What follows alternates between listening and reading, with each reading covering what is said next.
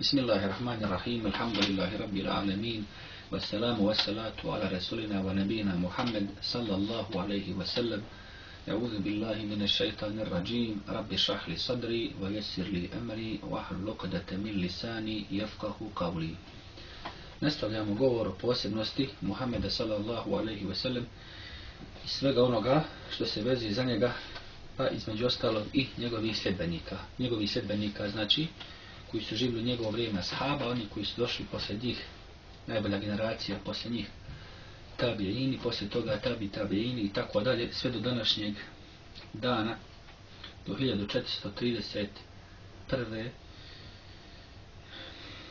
hijđatske godine ili 2011.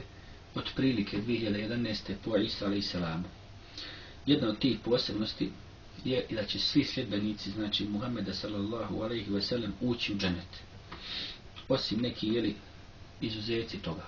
Ko neće, znači, ući u dženet. I to ulazi se, jedna od tih najboljih skupina, ulazi, znači, u dženet bez polaganja računa. Znači, bez polaganja računa, bez ikakvog kažnjavanja. To je ta najbolja skupina. Dalje, ima neki koji će ući, znači posle zauzimanja, posle šefata Muhameda sallallahu alaihi wa sallam za njih, iako neke sekte to poreču, da nema kao šefata za vjernike, u stvari šefat i jeste za one koji imaju loša djela, koji imaju grijehe, za njima, oni su njima i najpotrebniji šefat za takve ljude. Jedan će jeli, dio otići muslimana i u džehennem.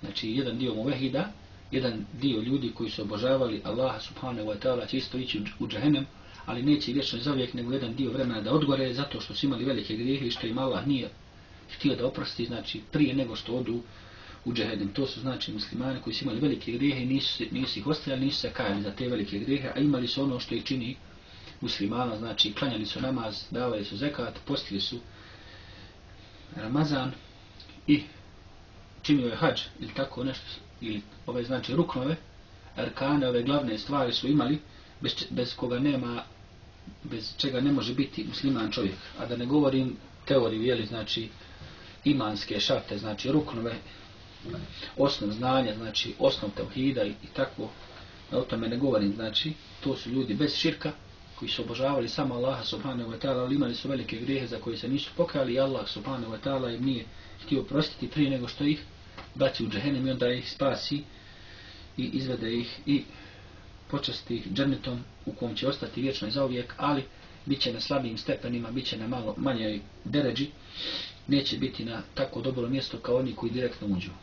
Tako da je bolje raditi što više dobrih dijela i što čistija ta dijela imati, što više slijediti, znači sunet Muhammeda sallallahu alaihi ve sellem, jednostavno je li veliki gubitak samo ne doći u džennet, samo ne biti u džennetu sa Muhammedom sallallahu alaihi ve sellem je veliki gubitak za vjernika. Kad nam je sve jasno, sve nam je jasno, sve smo shvatili šta nam je rad, šta nam nije rad, šta, kako da zaslužimo Allahu milost, kako da se udaljimo od Allahove kazne i opet, znači kad činimo grijehe, griješimo, znači samo je to gubitak za nas, teško je nekako da se strpimo.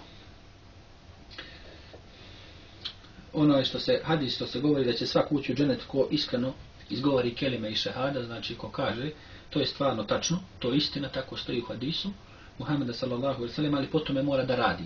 Jer su mušici Mekke to isto znali, kad im je Muhammed sallallahu alaihi sallam govorio da kažu riječ, da kažu znači riječ istine, da kažu tu rečenicu, da izgovore značenje, oni nisu htjeli da kažu, zato što su znali šta će posle toga doći. Iako kažu, reci, da, rećemo deset riječi, ako je to sam, samo da kažemo jednu riječ, reci, rećemo deset riječi, još kad im je obećao, vlada će tarapima i tako, u rivajetima kao što se prenosi. Pa kada rećemo deset riječi, šta je? Kaže reći nema drugog Boga osim Allah, eh, ne mogu to, ne mogu to da prihvate. Kako kad su imali biznis, kad su biznis sa širkom činili, kao što danas vladari arapski i nearapski takozvani muslimanske zemlje, takozvana ulema, ulema taguta, jeli, šuriju, prodaju iman, kupuju širk i tako dalje. Znači, nema samo riječju, bez dijela nema dženeta i to ne zato da bi čovjek zaradio, nego zato radi što je činio dobra djela, što je ura, znači sve od sebe učinio, ono maksimalno koliko je mogao, izvršio sve vađbe bez, bez koga ne može čovjek biti musliman, pa mu se Allah smilovao, pa mu prostio grijehe, pa ga uveo dženet. Pa su to sebebi, a to nisu, znači, ono da mu, da mu, da mu je Allah dužan nešto da mu nadoknadi, a Allah je pravedan, inna Allahe la jazlimu nase še'a, walakinna nase enfusahum jazlimun, Allah nije nepravedan ljudima, nego su ljudi sami sebi nepravedni. Također znači, da, ne, da su tako su zabili ove murđe gdje misle samo ako čovjek jednom kaže, tako sam sreo jednoga, hođusinog sina, jednoga poznatog munafika demokratskog, koji tvrdi da je išao po školama tamo, kad su učili između ostalog predmet religija, pa kaže tamo onim kafirima, recite la ilaha illallah, oni kažu la ilaha illallah, kaže eto to je musliman. Oni ne znaju šta znači. I oni ono kad, kad uče, kaže ovako kažu muslimani, pa kažu to, ono i iz konteksta, ne vjeruju to, znači čine kufr širk svo vrijeme, nisu ušte posljedne muslimani, ne vjeruju te riječi, niti znaju šta znači. On kaže tako su sve muslimani, onda ovaj hođusija, drugi hođusija od njegovog baba, hođusije munafika, jeli, jaran, prijatelj, on kaže, on, ono ja, potvrđuje, šta ćeš? Takav je rekao i za papu da je musliman, pa nije ništa se čuditi, jeli?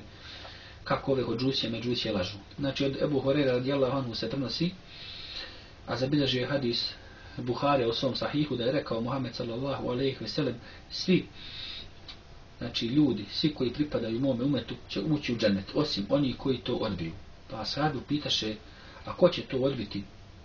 Allahu poslaniče, sallallahu alaihi ve sellem, a Muhammed sallallahu alaihi ve sellem im odgovori ko meni bude pokoran, ko mi se pokori ući u dženet, a ko mi bude neposlušan, znači ko mi se ne pokori, taj će odbiti da uđe u dženet. Što znači da je obavezno slijediti sunet Muhammeda sallallahu alaihi ve sellem. Ima neka tamo sekta koja to poreče, koja kaže dovoljan im je Kur'an, pa ako kažu da im je dovoljan Kur'an, a u Kur'anu stoji vati Allahe vati Resul, Rasul, kako ćeš da se pokoriš Allahu ako će, a, a da se ne pokoriš Muhammedu sallallahu alaihi sallam. To je stvar koja se ne može odvojiti. Ko misli da može biti pokoran Allahu, a da se ne pokorava Muhammedu sallallahu alaihi sallam, takav je odbio, takav je nepokoran kao što stoji u hadisu i takav ide u džahenem vječno i zauvijek kao što stoji u ome hadisu. Muhammeda sallallahu alaihi sallam od Ebu Hurera što je zabilježio između ostalog imam Buharija. Također, u jednom drugom hadisu, što je, koji je zabilježio imam Taberani između ostalog, kaže se da je rekao Muhammed sallallahu alejhi ve sellem tako mi onoga u čijoj ruci je moja duša vi ćete svi ući u dženet osim oni koji to odbiju i budu nepokorni Allahu poput deve koja je nepokorna svome vlasniku. Ashabi Muhammeda sallallahu alejhi ve sellem upitaše o Allahu poslanice a ko će odbiti da uđe u dženet ko je taj koji odbija? Ko je taj koji neće u dženet pa im odgovorio Muhammed sallallahu alejhi ve sellem ko meni bude pokoran ući će u dženet a ko mi bude neposlušan, to jeste nepokoran, taj će odbiti, znači taj odbija da uđe u dženet.